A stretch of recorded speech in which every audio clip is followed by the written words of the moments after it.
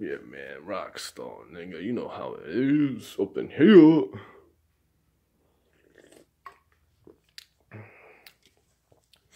Definitely something to wake you up.